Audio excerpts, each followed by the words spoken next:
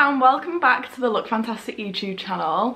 Tomorrow it is International Women's Day, so we thought we would kick off our brand new series. So make sure to subscribe as we have many special guests coming on this series, and make sure to give this video a big thumbs up if you enjoyed the first episode. Now our first guest is a really successful social media influencer and a female founder of a really popular tanning brand. It's Lottie Tomlinson.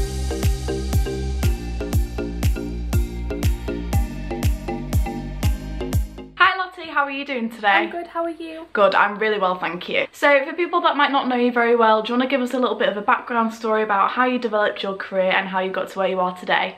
So basically, when I was 16, I didn't get into sixth form and my brother was on tour at the time and I really wanted to do hair and makeup. So my mum sent me on tour with Lou Teasdale, who was doing the boys' hair and makeup at the time and I did a works work experience and I was literally 15 I, I was just turning 16 actually on that trip and then I spent a week there and I was like so nervous, so shy. And then Lou ended up quite liking me. So she was like, let's, why don't you stay for the next three weeks? Um, because there's three weeks left of that tour. So I stayed for the next three weeks and then we had a little break and then they were doing a full world tour.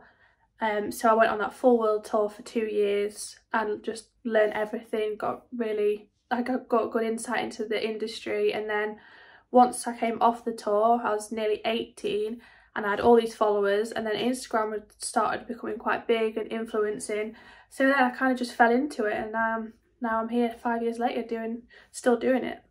So obviously you started out as being a makeup artist. Yeah. What made you go down the tanning route rather than developing a makeup line or going down the skincare route? I think I've always loved makeup and skincare, but at the time so many people were coming out with these makeup brands and I think it was it's quite a hard thing to nail and I'd always been interested in tan as well and I was a little bit more passionate about creating a tan because I'd never been able to find one that worked for me because they'd always break me out and I couldn't I always had tanning disasters. So yeah I was kind of more interested in coming up with a product that was really good and worked for me and that would hopefully help people in the same position as me where they couldn't find a tan that would work for them. Before we had any of the face tan drops, I just used to put like the mousse on my face and it would make me break out so much because I've got blemish prone skin so I'm so glad yeah. that people like you have now brought out these face tan drops because I could not live without them. It's so good because you can add them into your skincare, you can add it into your makeup and it just gives yeah, you that sure. lovely glow without actually having to wear loads of fake tan or break out your skin. So if you weren't a social media influencer and you you didn't own your own tanning brand, what would you love to do for your career? I think I'd just be a makeup artist because I was always so passionate about makeup from being so young and that's how I kind of started. I went on tour to learn makeup and that was really my goal was to become a makeup artist. So I think I'd just be a normal makeup artist. And obviously from working at a very young age and yeah. learning that you've got to work to be able to have a good career, that's obviously got you to where you are today and now you're only 22 yeah. and you've got your own brand, which is absolutely incredible. Thank you. So you're obviously such a huge influence to many young girls. Do you ever feel a pressure that comes with having such a large following? Yeah, I think it's always on your mind kind of what you're posting and making sure you're not setting the wrong examples and stuff like that. And obviously everything you do post is getting judged so much and everything that you do.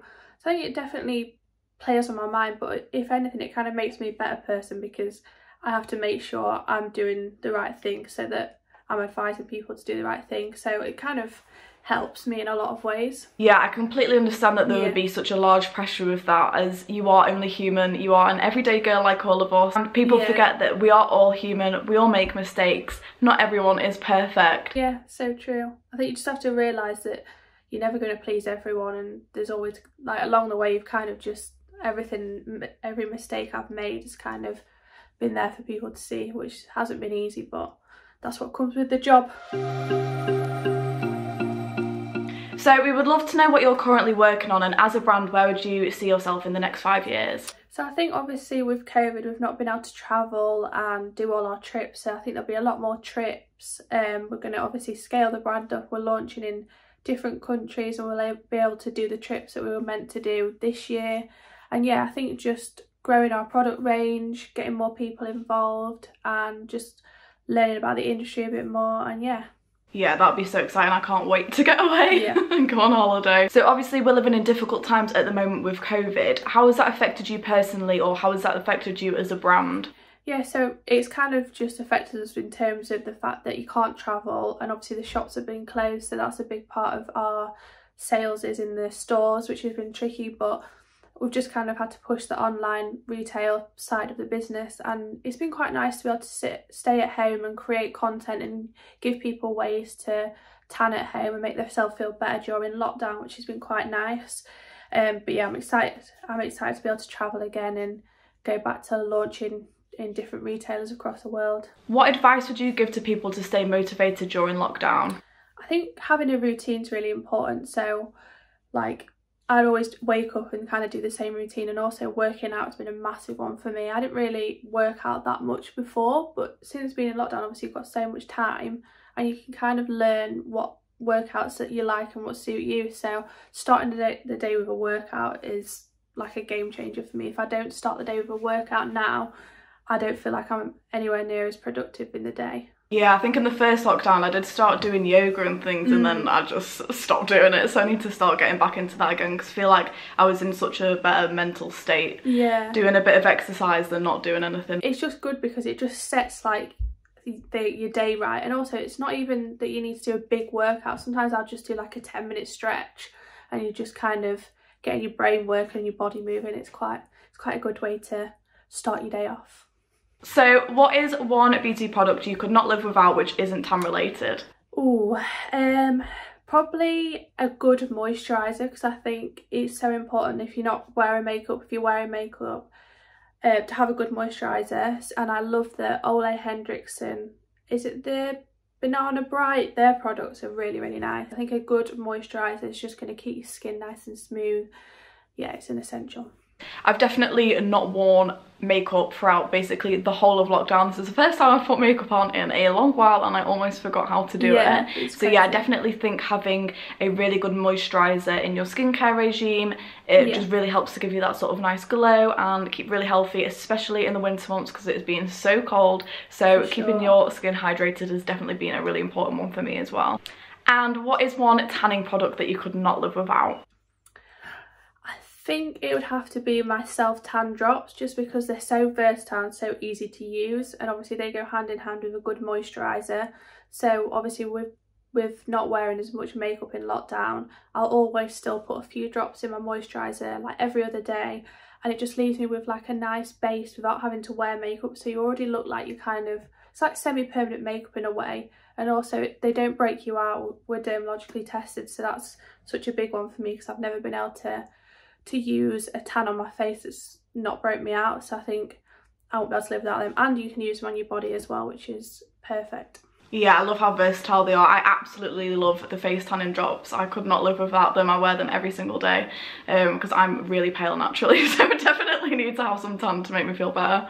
That's a that's another good thing about the drops as well because we've got light, medium, dark. I think they're really good for like fairer skin and like first time tanners because you can use the light and just add a couple of drops and you're only going to get a really subtle colour but it's nice because some people don't want that really deep tan so yeah, it's also a great one to take on holiday as well because I don't like staying out yeah. in the sun if you're only going for like a weekend and you don't take a big luggage with you and you can only take 100 mil. It's so much easier than taking yeah. like a big bottle of fake tan with you. Exactly. So I think they're really good for that. Yeah, I always have them in my um in my carry-on as well. Sometimes I'll put one on the plane so when I land I've already already got a bit of colour.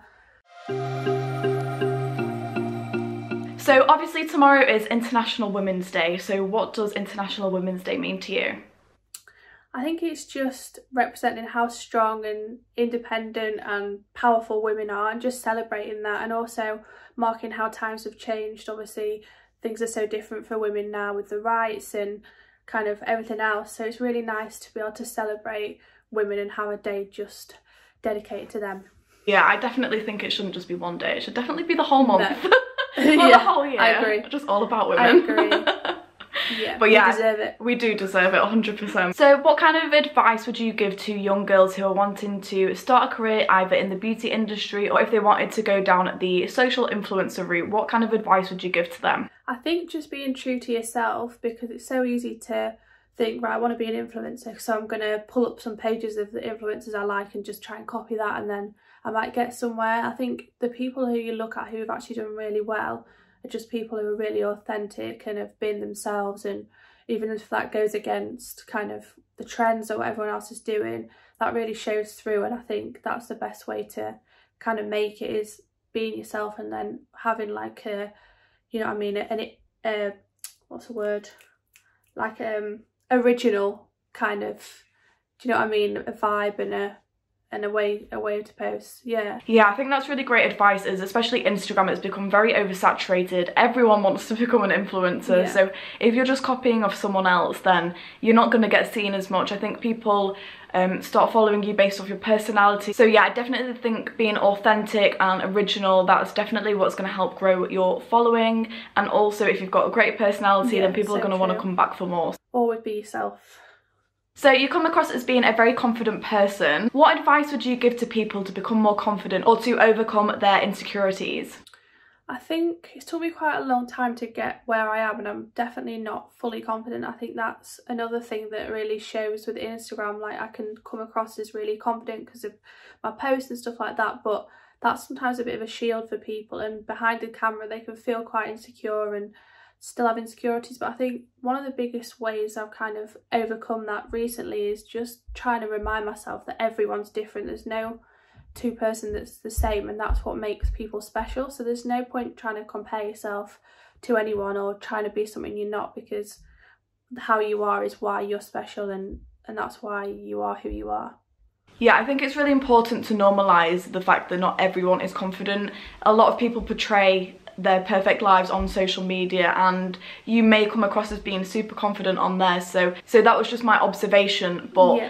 actually getting to know someone as a person they might not be as confident as we are just looking at images so it's a lot easier to come across as confident on images than it is in person. So yeah I think it's really important to show people that maybe you aren't so confident and, and maybe that'll help others as well to gain more confidence it's so funny because I, I could look at a girl and think oh my god I love her hair and then you could speak to the girl and that she'd be so insecure about her hair or the thing that you sometimes look at that you're jealous of they don't even like about themselves so yeah it, it it is true like everyone has insecurities and you're not always as confident as you look on Instagram. So obviously working in social media I've seen firsthand that people can be quite horrible with their comments. Do you ever respond back or do you just ignore those kind of people and comments? Well, I think for one, I've always been quite lucky because I've got such a solid like follower base and and the people that follow me and comment on me regularly are all so nice and have always been so supportive. Obviously, I still get the the bad comments sometimes, but just not interacting with it has always been how I've dealt with it. There's no point trying to fight back or reply.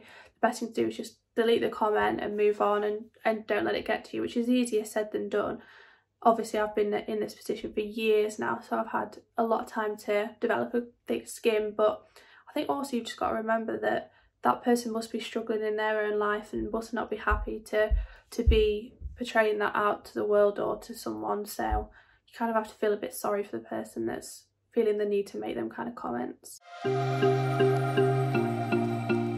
Okay, so now we're going to move on to some quick fire questions from some of Lottie's followers and some of our customers. So let's get on with the quick fire questions. What's your favourite perfume?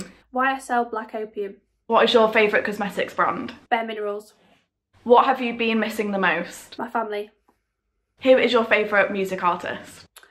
Um, Khalid. What is your favourite thing about being an influencer? Um, getting to travel. Favourite movie? Um, This is England. Dream job when you were a kid? Uh, being a midwife. Biggest fear? Uh, getting old. How many tattoos do you have? Oh, um, I think seven. Are you a vegan? No. How old were you when you had your first kiss? Um, 13. Favourite colour? Um, pink. Favourite brand you have collaborated with? Oh, um, Revolve. Favourite ice cream? Mint chocolate chip. Favourite food? Sushi. Favourite animal? Uh, monkey. Who is your biggest inspiration? My mum. Would you ever go on a reality TV show? Probably not, but never say never. Thank you so much Lottie for answering all of our questions today. Thank you so much for coming on our YouTube channel. We really hope to see you very, very soon and I hope you have a lovely rest of your day. Thank you for having me. Don't forget to subscribe to the Look Fantastic YouTube channel and give this video a big thumbs up if you liked our first episode. Thank you all so much for watching and we'll see you very soon. Bye. Thank you. Bye.